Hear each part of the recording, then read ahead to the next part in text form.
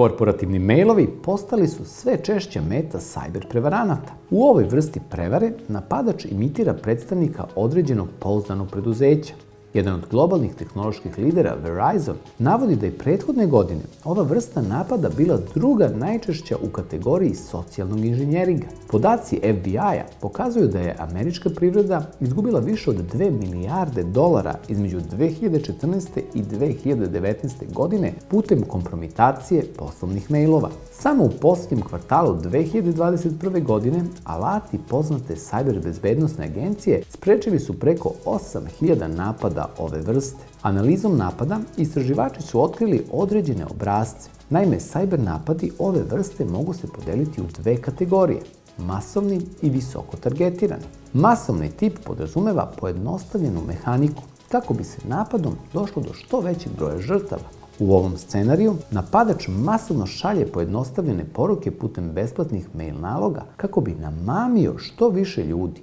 Iako nisu sofisticirane, ovakve poruke veoma su efikasne. Najčešći scenario podrazumeva da zaposleni primi lažni mail od kolege koji se nalazi na seniorskoj poziciji. Iako relativno nejasna, poruka uvek sadrži neki zadatak koji zaposleni treba da uradi. Taj zadatak često je hitna isplata ugovora, rešavanje nekog finansijskog problema ili podela osetljivih podataka sa trećom stranom. Drugi, napredni tip napada označava se kao targetirani. U ovom scenariju napadač prvo napada posredničko poštansko sanduče i dobija pristup mailu na tom nalogu. Nakon toga traži odgovarajuću prepisku sa kompanijom koja je prava meta. Kada je locira, on nastavlja korespondenciju predstavljajući se kao posrednička kompanija. Cilj ovakvog napada obično je podsticanje žrtve da prenese novac ili instalira malver. Ova vrsta napada daleko je sofisticiranija od masovnog tipa, a podjednako je efikasna, ako ne i više.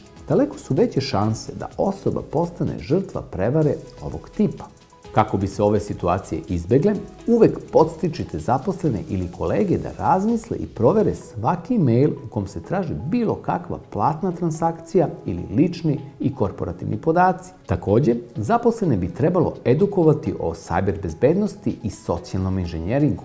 Konačno, uvek se možete osloniti na sigurnosne alate kako bi vaš korporativni digitalni prostor bio bezbedan.